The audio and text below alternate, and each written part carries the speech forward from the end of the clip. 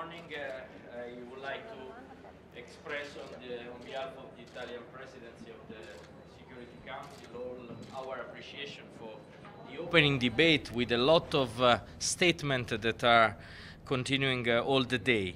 Appreci appreciation also for the UN Security Council resolution that we have adopted unanimously, Resolution 2388.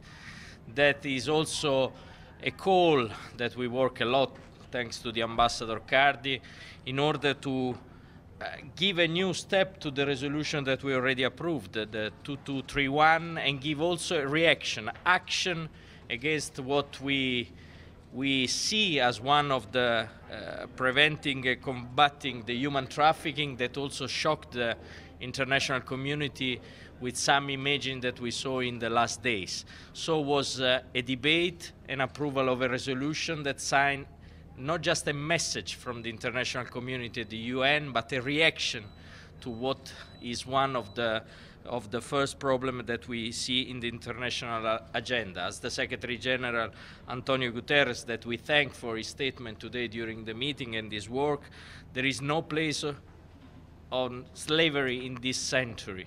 And the reaction of the international community should also be based on uh, common action and also common measures that we have to do to tackle especially the most vulnerable people that are affected by trafficking, women and children.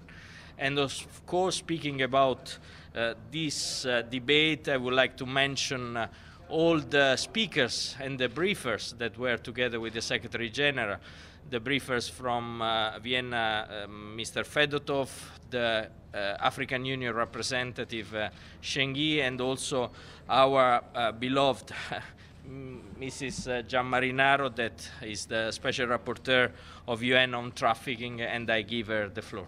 Please. Thank you. It is clear that uh, trafficking in persons, especially women and children, is a systemic component on, of any conflict. Vulnerable, vulnerable people are exploited in conflict zones by terrorist groups uh, or armed groups of any sort as child soldiers, uh, as sexual slaves, but also people fleeing conflict are affected and uh, trafficked for uh, any illicit purpose, uh, be it sexual exploitation or labor exploitation. And we have seen young mig migrants in Libya sold for a few dollars as slave workforce. Uh, the resolution, of course, uh, is, a, is a step forward to strengthen the capacity of the international community to prevent trafficking and to fight against trafficking and to protect its victims. Of course, the resolution is adopted in the context of the Security Council agenda. So it's uh, very much focused on the maintenance of peace and security. I have to say that uh, the protection of victims and potential victims of trafficking uh, has been particularly, uh, particularly um, underlined. And uh, uh, from this point of view, I think that the obligation of member states to protect not only victims of trafficking for, for in situations in which there is clear evidence that they have been victimized, but also potential victims of trafficking, people vulnerable to trafficking that must be identified, especially in places in which large influx of migrants and refugees arrive, uh, will be uh, substantially strengthened. Thank you. Ambassador. Nothing to add. I think uh, it was a highlight, as the Secretary, Secretary of State of Italy uh, mentioned of the Italian presidency. You know that we have uh, very much focused on uh, Mediterranean, uh, on Libya, of course, Mediterranean. And this issue of trafficking is very much related to the African issues that we deal in the Council and to the instability in Libya. So, of course, for us it was an important day, and we would like to thank also the Special Rapporteur for coming and Mr. Fedotov and the Secretary General, who made a strong appeal against slavery. So this is, I think everything has been done. Thank you very much, and we'll see you in the, the debate will continue up to tonight, and uh, thank you. Yeah. Uh, yeah. Answer? Sì, Ansa, uh, my question is uh, if uh, there is uh, actually on Syria and if, is, uh, if there is any still any hope or any chance to revitalize the, the renewal of the JIM mandate? As you know, we have been working very hard on the renewal of the mandate, which has expired last uh, Friday night, night between Friday and Saturday. Uh, the members of the council made, uh, you know, uh, further efforts to try to arrange the, to address the situation. Uh, we are still, uh, you know, discussing discussing the issue. Uh, we are not. We have not at the moment any uh, development to report. We will see uh, by tomorrow if there is anything. But at the moment, there are no developments. Uh, Undersecretary, uh, the, uh, there are historic scenes on the streets of Harare and around uh, Zimbabwe today after the resignation of President Robert Mugabe after 37 years in office. Would you care to weigh in on, on those historic developments? Uh, we have seen, of course, uh, everybody has seen the reports of coming from uh, from Harare, from Zimbabwe. This is, uh, you know, we are president of the Security Council. It is not an issue that the Security Council has been discussing, so I will have no comment on that for the moment. Question on Burundi, which was on the Council's agenda yesterday. There's been an indictment in the U.S. just filed yesterday regarding former PGA Kutesa. And the, the connection is, it is alleged by the prosecutors that President Museveni was paid bribes for oil con concessions in Uganda. My question is, your statement yesterday, which I understood you would have read out had you done a stakeout, praised Mr. Museveni for his role in the Burundian mediation. In light of this new indictment, is there any rethinking of that? What does what do you think of it? I frankly I didn't see that uh, develop with this news. So I mean, yesterday the briefing by Kafando was very positive one, and uh, the Council has, of course, in part in public and in part in consultation, been examining the situation and developments and the efforts by the UN and by Kafando, the Special Envoy. So I have no comment on this development that you mentioned. Thank you. Thank you. Uh, another question? Last question. No, but we had to say on the. Yeah. Ah.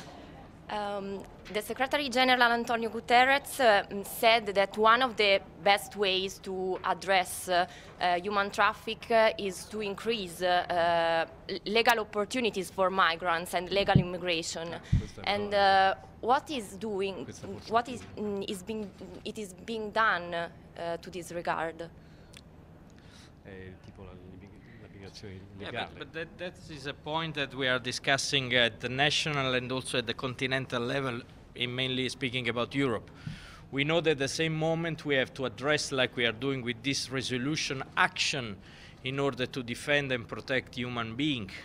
Protecting means also involvement uh, and principal involvement of the UN agency, because without their uh, capability to have action, all the national state cannot provide. So uh, our profile as Italy was always to support the intervention of the UN agency in all the, uh, let's say, in all the aspects, protection, repatriation, and uh, um, defending their rights. Uh, and we, we are working and we support, uh, in the case of Libya, the, the entrance of the UN agency that are decisive in order to, uh, to cancel some of the, the scene that we saw uh, mm, regularly in the last days. At the same moment, this means opening also the way for legal migration channel, because at the same moment we know that uh, the relation between the, the state and the continent, and mainly I'm speaking from the European side, is also based on not just defeating the trafficking of human being and the slavery,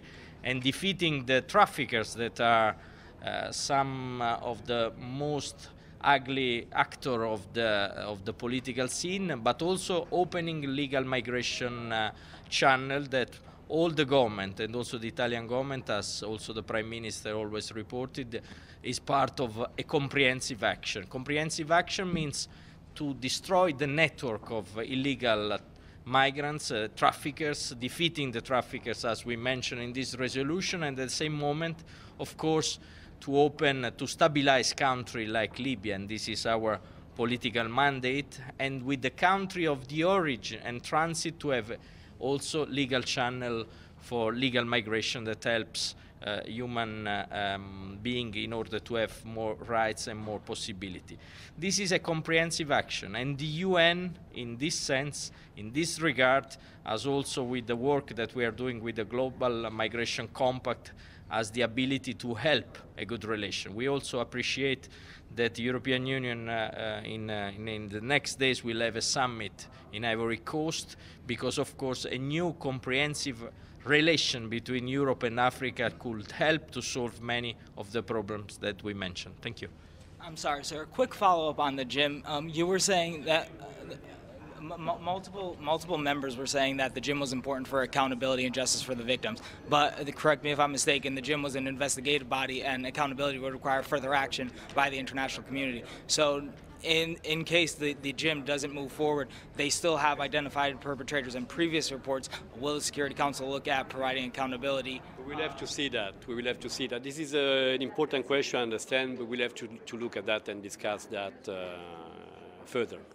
I have no answer to that at, at the moment. But certainly there are investigation conclusions, and uh, we should try to preserve that. This is important. Thank you.